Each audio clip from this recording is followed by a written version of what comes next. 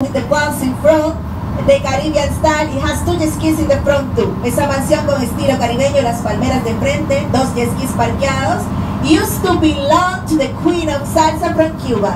Solía pertenecer a la reina de la salsa de Cuba, Azúcar. This used to be Celia Cruz Mansion, just in front of you now.